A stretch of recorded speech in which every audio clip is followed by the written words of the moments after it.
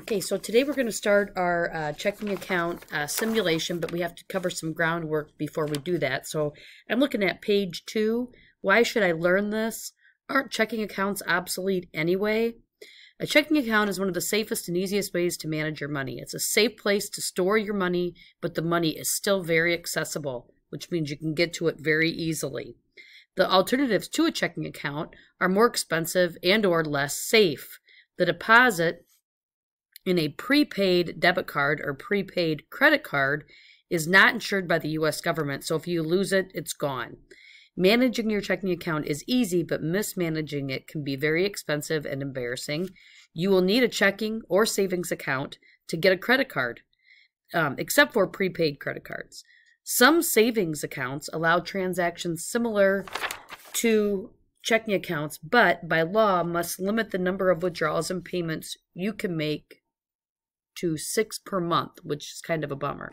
Some bills, like utilities, insurance, taxes, uh, cannot be paid via credit card. It's not a good idea to pay your bills by credit card anyway, um, unless you pay an added fee. And some local tax bills can only be paid by paper check or cash. A recent study shows that younger adults are more prone than any other age group to incur avoidable bank fees simply due to not managing their checking accounts. So that's why we're doing this, so you don't fall into that statistic. Uh, opening a checking account. When you open your first checking account, you will probably want to use a bank that is conveniently located. We would suggest that you go and talk to a banking officer about the various checking account features available and their costs. Initially, you will probably just need a low cost account with few features. We very, very strongly recommend that you choose an insured financial institution. This will guarantee, in the event of a bank failure for any reason, you will get your money back. F FDIC insured, you probably have heard that before. That's what that means. Uh, opening your checking account will require personal identification, the address where you live, and a social security number. If you are under 18, the bank may also require that the account be jointly owned with an adult due to legal obligations involved in writing a check. One item you will have to provide while opening an account is your official signature. Your signature on checks you write effectively turns that piece of paper into money, and the bank will use the signature to provide to you provide when opening the account to verify your checks. Do not use a nickname. Think just a little before you sign the application since you will be signing all your checks and most other legal documents this way, probably forever. Your banker will give you an account number, some checks and deposit tickets with your account number pre printed on them, and a check register to record both checks written and the amounts deposited. The banker can also arrange for you to receive a debit card to access ATM machines and use for purchases, plus additional checks. So now we're ready to go. A debit card looks like a credit card, but it's connected to your checking account.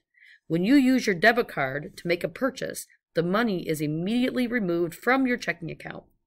Even though a store has to pay a fee when you use your debit card, they may prefer it to a check since there is always a chance that your check may bounce. They know immediately when you use a debit card that you have money in it or not. They don't know that with a check necessarily. So now we're on page three, making deposits. You probably think of a checking account as a way to make payments. This is true, but you have to have money in the account before you can do that. So let's start with making deposits. You can deposit both cash and checks at your bank or at an ATM machine. Either of these may require you to fill out a deposit ticket. Exact style varies, but the information is relatively the same, like what you see there um, on page three. So S.H. Williams has filled out this deposit slip for $253.20. The deposit includes $20 cash, $20 bill, and a check for $233.20. The check is identified by listing the number, the check number that appears in the upper left corner of the check, and they give you an example there. They show you the 7 hyphen 10 as the check number, but it's typically written with the the number 347, which you see in the grayed out um, part of the check on the right side. That's usually what you would write instead of 7 10 under checks on the deposit ticket.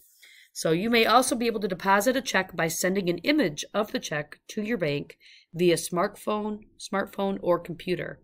The full amount of a check that you deposit may not be available for several days since your bank must determine that there are funds in the account of the person or company who wrote you the check. Endorsing a check.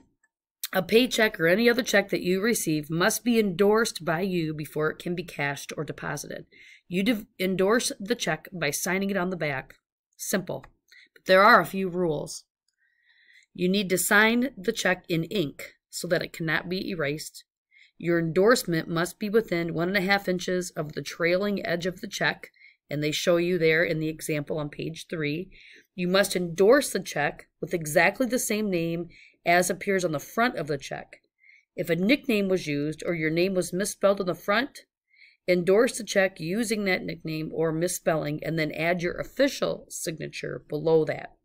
You should deposit the check shortly after you receive it Banks typically will not accept a check six months after the date on the face of the check, but some checks will state that they become non negotiable or can't be cashed at all after 45 or 60 days. Ironically, being able to deposit your check by smartphone or computer may make banks' enforcement of endorsement rules much more stringent because you still have the physical check and might accidentally try to deposit it a second time.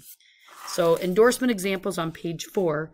There are three common types of endorsements. The bank blank endorsement, which we recommend not using, the restrictive endorsement, and the endorsement in full, which you will rarely need. Remember that all endorsements must be done within one and a half inches of the trailing edge of the check. So the blank endorsement is the simplest, consisting of nothing more than your signature. It can be cashed by anyone who possesses it and should not be used if you plan to send the check through the mail. We recommend that you only use this when you are actually in the bank ready to make a deposit because if it's a blank endorsement and you lose the check, whoever finds it can cash it. A restrictive endorsement is much safer. A restrictive endorsement stating for deposit only means that the check must be deposited into your account. Because no one else can cash the check, you can mail it to your bank in complete safety. Restrictive endorsements may be required for, mo for mobile deposits. For a little added security, you may also want to add a line with your bank account number. Your grandmother writes a check to Billy Stevens. Endorse the check exactly as it has been written, but then add your own legal signature. We recommend that the restrictive endorsement be used in most cases. You may again want to add a line with your account number as shown there in the third example on page four. Finally, the full endorsement is used to transfer the check to another person or company. No one except the person or company stated on the endorsement can cash the check. Remember, to leave space for this other person or company to endorse the check when they deposit it into their account. Okay, so that's if you're transferring it to somebody else. Like if I want to write the check out to a friend of mine named Joe Smith, I would write pay to the order of Joe Smith, and then I would sign my name. So now we're on page five, keeping checkbook records. Before we talk about writing checks, let's review keeping checkbook records. A primary requirement for managing your checking account is to keep good records. You should keep a record of every transaction that you make, including to whom the payment was made, the payee, who you're giving the money to, the purpose of the payment, the amount, the date of the payment, and the check number if the payment is via check. This is even more important than in the past since many banks no longer return images of the checks you have written, and many payments don't actually involve paper checks. You also need to keep a record of every deposit you make, including the source of the deposit. The check register is the form most commonly used for recording banking activities. The banker will have given you a paper check register when you opened your account, and you will receive additional registers when you order checks. You will probably also receive a plastic cover to hold both checks and the check register. The check register is laid out easily out to easily record the information you need. The right columns keep a running balance of the amount of money available in your checking account. The illustration below shows how checkbook records are kept. Note that each transaction has two lines. The first line shows the payee, while the second line records the purpose of the check. This information is so important that you should fill out the register before you complete the transaction or even write the check.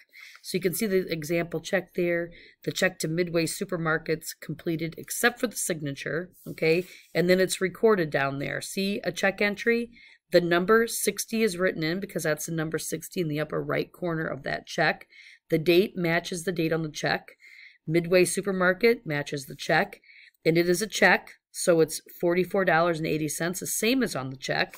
And then you subtract the check from the balance of 160 to get 115.20.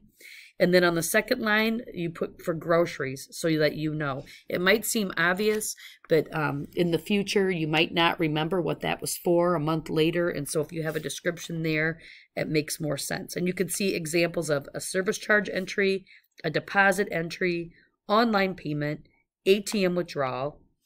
Okay, that you want to refer back to this when we start the simulation. Note that every transaction has the same information. Online and pre-authorized payments may be identified as automatic clearinghouse, ACH, rather than a check number. Okay. Um, writing checks. Finally, the good stuff.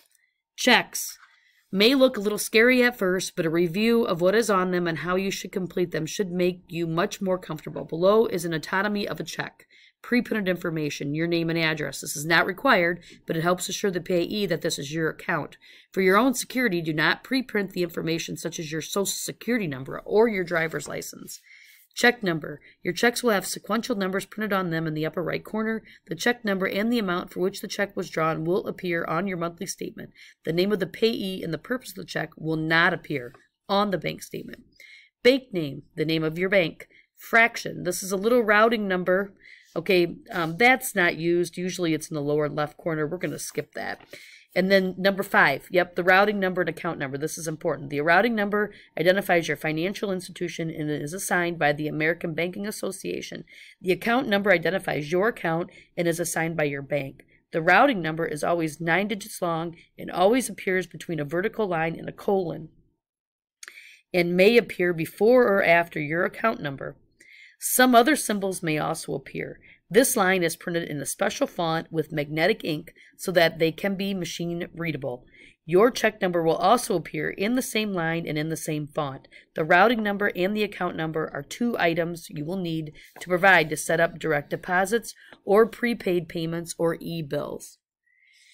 If you make a mistake when writing a check, do not correct it. Print void in large letters across the front of the check and write another one.